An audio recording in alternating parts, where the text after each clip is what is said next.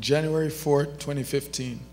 With due respect to the sincere believers in Christ involved in published and concealed expectations of many rapture predictions according to their since calculations, including Jewish feasts, timing will be disappointed as it will not happen according to their calculations, but will come as a thief in the night. Confusion will set in, and many will take their disappointment, yet adjust themselves emotionally to repeat the error over and over again.